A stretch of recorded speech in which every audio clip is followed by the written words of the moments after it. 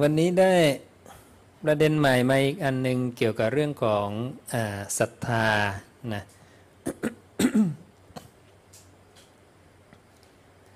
ศรัทธานะในพระสูตรที่ตรัสกับภาษาลิบุตร ว่า ถูกแล้วสารีบุตร อริยสาวกใดมีความเลื่อมใสอย่างยิ่งในตถาคตถึงที่สุดโดยส่วนเดียว เขาย่อมไม่สงสัยหรือลังเลในตถาคต หรือคำสอนของตถาคต สารีบุตร เมื่ออริยะสาวก เป็นผู้มีศรัทธาแล้ว พึงหวังข้อนี้สืบไปว่า เขาจักเป็นผู้ปารบความเพียร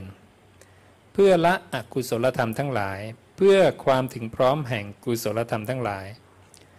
เป็นผู้มีกำลังมีความบากบั่นมั่นคง ไม่ทอดทุละในกุศลธรรมทั้งหลาย สารีบุตร ความเพียรเช่นนั้นของอริยสาวกนั้นย่อมเป็นวิริยินทรีย์ของเธอนั้น เป็นกำลังในด้านความเพียร สารีบุตรเมื่ออริยสาวกเป็นผู้มีศรัทธาเป็นผู้ปารกความเพียรอยู่แล้ว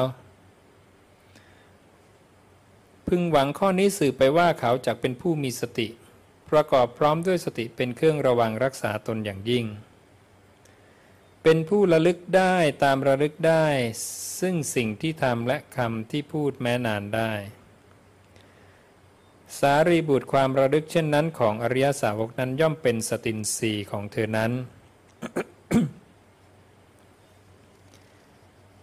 จากนั้นพระองค์ก็บอกว่า อริยสาวกผู้นั้นเนี่ยนะจะเป็นผู้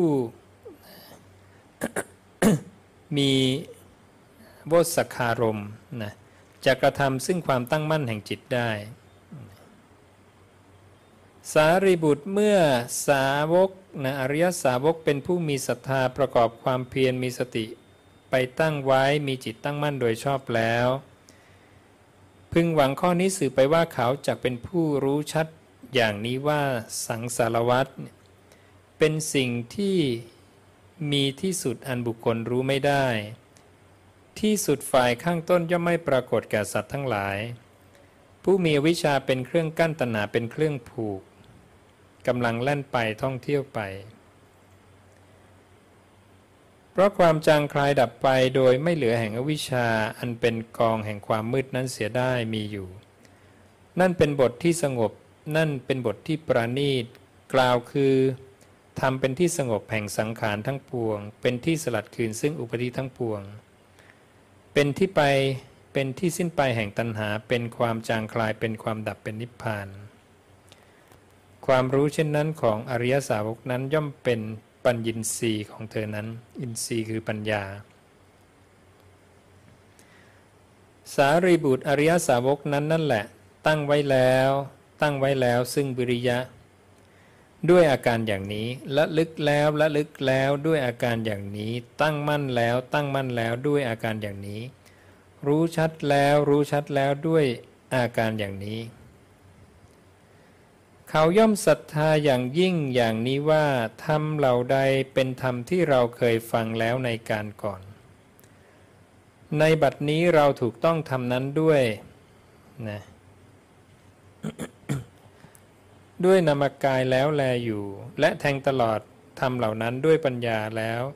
แลอยู่ด้วยดังนี้ ในตัวนี้เราจะเห็นถึงระดับของความศรัทธานะ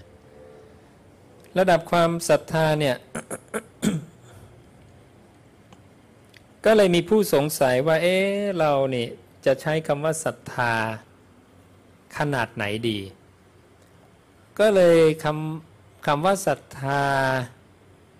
อย่างลงมั่นเลื่อมใสอะไรเนี่ยในภาษาไทยมันมันยังไม่ชี้ชัด เพราะมันไม่ใช่คำพระเจ้าโดยตรงก็คือ ต้องกลับไปดูที่ตัวบาลีว่าบาลีใช้อะไร เราก็เลยกลับไปดูตรงนั้น ก็กลายเป็นว่ามันเป็นระดับของศรัทธาที่ผู้เจ้าแบ่งแบ่งระดับไว้แล้วอย่างเรียบร้อยนะ ในระดับแรกที่บอกว่ามีความเลื่อมใสอย่างยิ่งในตถาคตถึงที่สุดโดยส่วนเดียวเนี่ยพระองค์จะใช้คำว่า เอกันตะคโต อภิปปสันโนปสันปสันโนเนี่ยคือเริ่อมสายอภิก็คือเริ่อมสายอย่างยิ่งเริ่อมสายอย่างยิ่งนะเอกันตะนะก็เป็นหนึ่งเลยหนึ่งเดียวเนี่ยตาคโตเนี่ยตถาคตเริ่อมสายอย่างยิ่งในตถาคตหนึ่งเดียว นะอ่าแล้วเดี๋ยวจะให้ดูความสอดรับกันนะว่าหนึ่งเดียวกับตถาคตเนี่ยเป็นอย่างไรนะพอขยับขึ้นมาปุ๊บนะเมื่ออริยสาวกผู้มีศรัทธาเป็นผู้ปารบความเพียรศรัทธาตรงนี้จะใช้คำว่าสัทธัสนะสัทธัสสหินะก็คือเริ่มมีศรัทธาแล้วใช้คำว่าศรัทธาแล้วนะจากอันนี้นะ ศรัทธาในการปารบความเพียรในการฝึกสตินะในการปล่อยวางอารมณ์นะโวสักคารมเนี่ยโวสักคะเราจำคำว่าโวสักคะได้ไหมสละลงหรือปล่อยวาง อารมณ์เห็นนะปล่อยวางอารมณ์นั่นเองละนันทินะมีความเพียรตรงนี้ จนจิตตั้งมั่นและบรรลุธรรมเป็นพระอรหันต์นะศรัทธาตรงนี้พระองค์จะใช้คำว่าอภิ สัทธหตินะอภิศรัทธาเนี่ยศรัทธาอภิอย่างยิ่ง ดังนั้นในพระสูตรนี้ก็จะมีนะระดับเบื้องต้นอันแรกเนี่ยเอกันนะตะคโต อภิปัสันโนนี่เบื้องต้นขยับขึ้นมาเป็นศรัทธาขยับขึ้นมาเป็นอภิศรัทธาอ่าเห็นนะก็สามระดับในตรงนี้นะ นั้นถ้าเราอยากจะชี้ชัดในคำว่าศรัทธาอันอย่างลงมั่น หรือศรัทธาที่ตั้งมั่น หรือศรัทธาอย่างยิ่งอะไรอย่างนี้ เราก็จะชี้ชัดด้วยคำของพระองค์อย่างนี้นะไปดูในพระสูตรอื่นๆนะจะมีอีกคำที่อยู่ในกลุ่มของเอกันตะคโตอภิปัสสันโนก็คืออเวทจับปัสสาเทนะนะอเวทจับปัสสาเทนะเนี่ย ก็คือเลื่อมใสอันไม่หวั่นไหว ในพระพุทธพระธรรมพระสงฆ์พุทธเทธรรมเมสังเขนะอันนี้ก็จะอยู่ในระดับเดียวกันนะคือในกลุ่มโสดาปฏิมักอย่างนี้ ตัวอย่างของนะอเวทจับภาษาเทนะเนี่ยนะคือเลื่อมใสยอย่างยิ่งเลยนะโดยในตถาคตโดยส่วนเดียวเนี่ยเจ้าสากยะ ชื่อมหานามะกับโคทาสองคนเขาคุยกัน เขาก็คุยกันเรื่องโสดาบันว่าเป็นยังไง คนหนึ่งเขาก็บอกว่าต้องมีโสตาปัญญคัสสี่อีกคนก็บอกว่าต้องมีความเลื่อมใสในพระพุทธพระธรรมพระสงฆ์เขาก็ถกกันไปถกกันมาอย่างนี้แหมไม่ลงตัว อีกคนเขาบอกต้องไปถามพระศาสดา พระศาสดาผู้เดียวเท่านั้นที่จะรู้ว่าใครคือโสดาบันนะนะ บอกเราไปถามพระศาสดากันแต่เขาก็เลยไปถามพระศาสดาทีนี้เจ้าสักยะมหานามะก็เลยกล่าวให้ผู้เจ้าฟังว่าเนี่ยตัวตัวเขาเนี่ย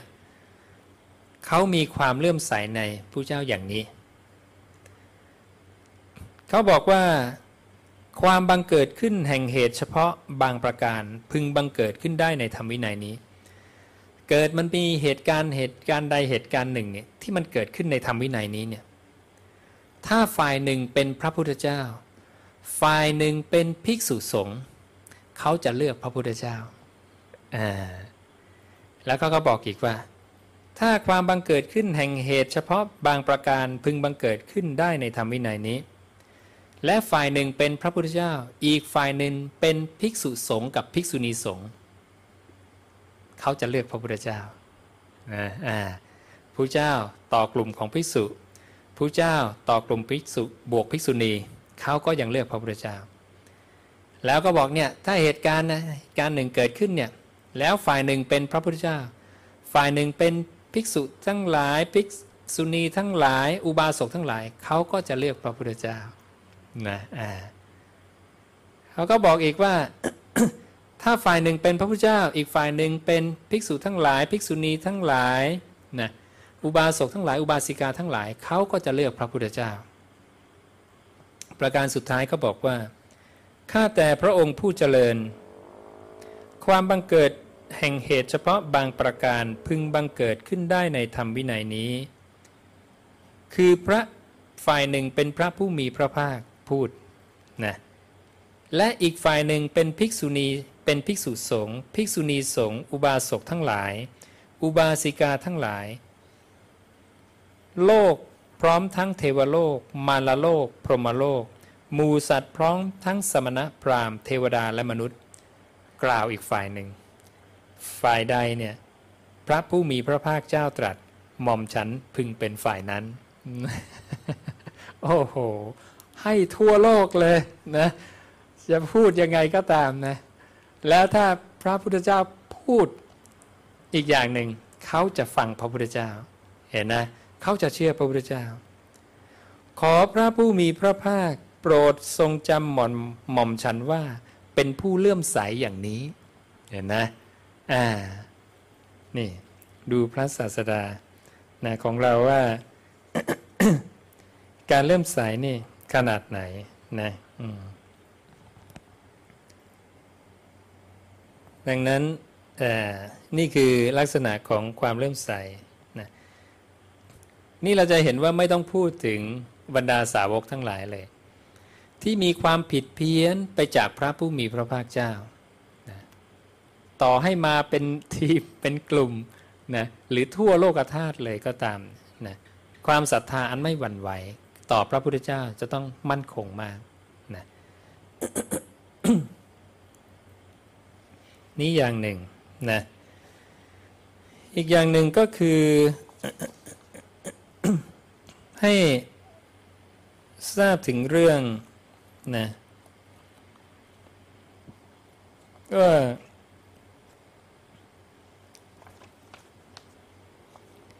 ศรัทธานะ